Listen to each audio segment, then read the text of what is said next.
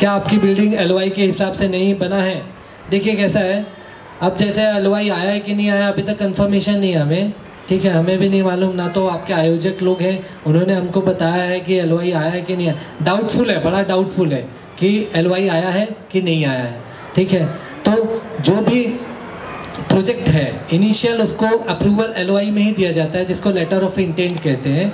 Letter of intent में ये दिया जाता है कि आपका लैंड एरिया कितना है, आपके स्ट्रक्चर्स कितने हैं, आपके कमर्शियल कितने हैं प्रोविजनल पीएपी कितना जनरेट हो रही है। मतलब जो अपात्र है, उसका प्रोविजनल पीएपी कितना जनरेट हो रहा है। आपके स्कीम में डेंसिटी कम है तो पीएपी कितनी जनरेट हो रही है, जो रेगुलर पीएपी होती है, वो कितनी जनरेट हो रही है, वो सब दिया रहता है। आपको बालवाड़ी कितनी मिलनी चाहिए वेलफेयर सेंटर कितनी मिलनी चाहिए सोसाइटी ऑफ़िस कितनी मिलनी चाहिए, आपको पार्किंग कितनी मिलनी चाहिए, ये सब आपके एलवाई में दिया रहता है।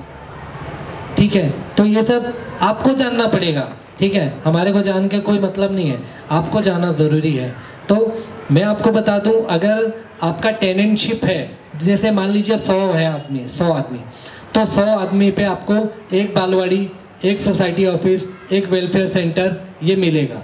तो अगर आपके पास में 400 टेनेंट है तो 400 टेनेंट के हिसाब से चार बालवाड़ी हो गया आपका, चार वेलफेयर सेंटर हो गया और चार सोसाइटी ऑफ़िस हो गया।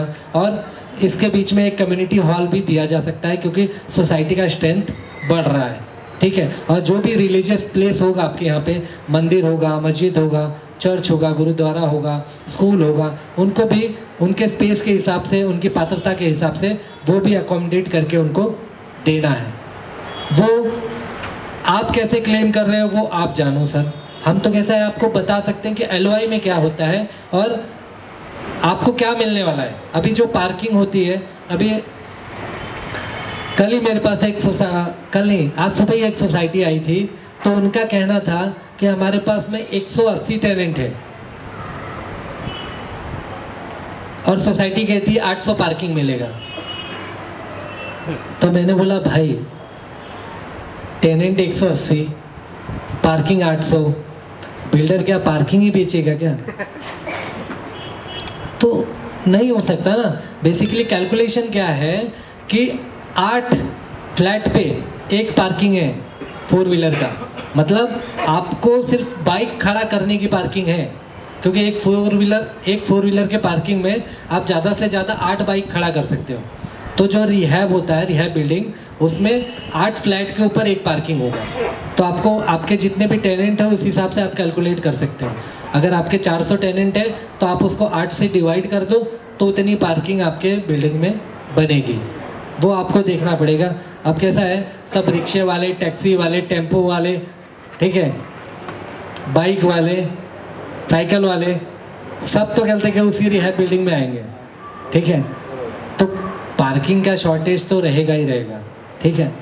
अब आप लोग को एडजस्ट करना पड़ेगा पार्किंग बढ़ नहीं सकते हाँ? मैं बोल रहा हूँ कि आठ पे एक मिलेगा तो आप बोलोगे डेवलपर साहब को कि भैया, नहीं एक एक पार्किंग सबको होना चाहिए। प्रोविज़न में नहीं है ना पॉलिसी में नहीं है। जो चीज़ पॉलिसी में नहीं है, उसका डिमांड आप नहीं कर सकते। आठ पे एक पार्किंग है। ये आपके नॉलेज के लिए है कि आपको बाइक खड़ा करने का पार्किंग मिलने वाला है प्रत्येक व्यक्ति को। अगर फोर व्हीलर की जो पार्किंग है सेपरेटली कोई फोर व्हीलर खड़ा भी करता है, वो सोसाइटी के अंडर में तो सोसाइटी उसका मेंटेनेंस चार्ज करती है, जो भी फोर व्हीलर खड़ा करेगा।